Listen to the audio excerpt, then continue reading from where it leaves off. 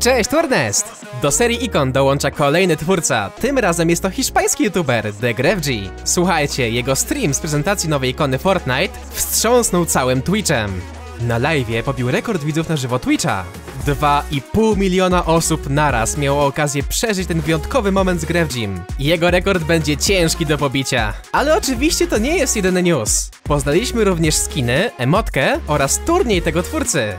Zanim przejdziemy dalej, to chciałbym was zaprosić do sklepu Honest. Ruszyła właśnie druga limitowana seria z kozackimi bluzami w motywie postaci mojego kanału i Holma, dlatego koniecznie tam zajrzyjcie. Adres sklepu to sklephonest.pl. Dzięki. A wracając to oto Grefg w Fortnite'owej wersji. W końcu po prawie roku od dnia ogłoszenia nadejścia skina Grefgiego ujawniono jego wygląd. Mogliście już u mnie kilka razy usłyszeć o różnych plotkach na ten temat. Jeśli się nie mylę, pierwotnie ten skin miał wyjść w czwartym sezonie. Jednak coś wypadło i wyszedł skin dla klana. W każdym razie, zbierak to kontroler z jego logo na patyku. Podobnie do zbieraków dla klana, zbierak ten będzie iskrzyć na żółty kolor. Emotka za to jest autorskim tańcem tego twórcy, a dokładniej to taniec z kontrolerem.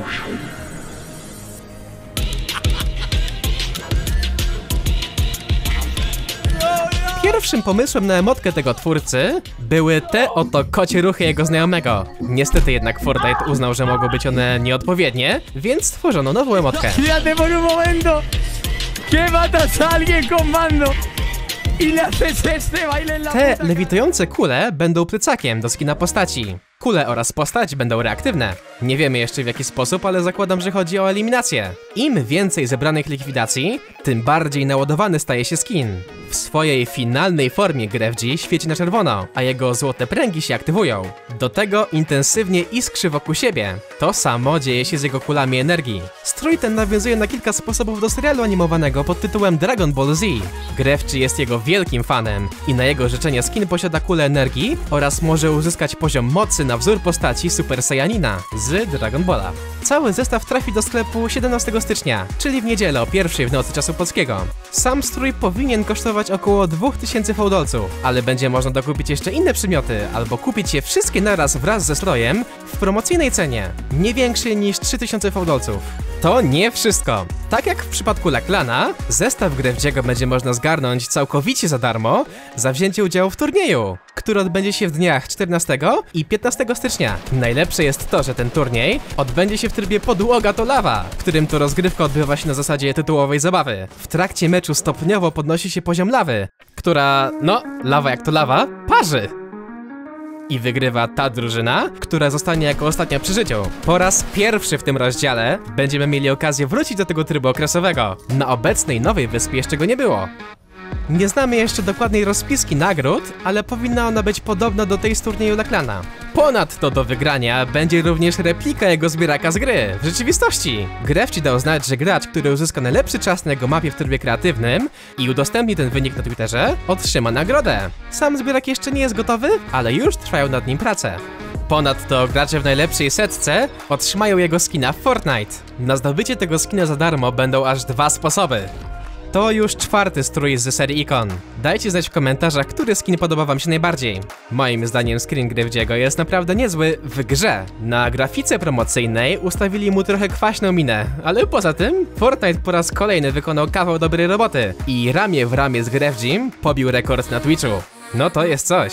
Poza tym w ostatni weekend światło dzienne ujrzała również bardzo ciekawa modyfikacja do Fortnite. Mix we współpracy z Maxem stworzył prywatny serwer do Fortnite, który jest dostępny przez 24 godziny na dobę, 7 dni w tygodniu. W skrócie na tym serwerze można zwiedzać całą wyspę bez obawy o burzę czy innych graczy. No to już jest w trybie laboratorium, ale tutaj można założyć dosłownie każdego skina, każdą lotnię, każdy zbierak i tak dalej bez ograniczeń. Dzięki temu na przykład można założyć lotnię, która normalnie jest tylko dla Kapitan Marvel, do futrzaka, albo użyć jakiejś wyjątkowej emotki. Możliwości jest naprawdę wiele na szerokości wszystkich funkcji gry. W lobby można ustawić różne poprzednie tła, a na samym polu bitwy na przykład postawić gaśnicę. Gaśnica to przedmiot, który skrywał się w gry już od jakiegoś czasu. I dzięki tej modyfikacji wiemy, jak ona by funkcjonowała. Gaśnica po zestrzeleniu wybucha i tworzy chwilową zasłonę dymną. Nie wiemy, czy wyjdzie ona kiedykolwiek do gry, ale fajnie jest to podejrzeć. Do tego do takiej wersji Fortnite Można wgrać jeszcze inne modyfikacje. Ktoś grał swoją własną teksturę na skina. Da się tu również uruchomić konsolę, w której można, no nie wiem, zrobić cokolwiek.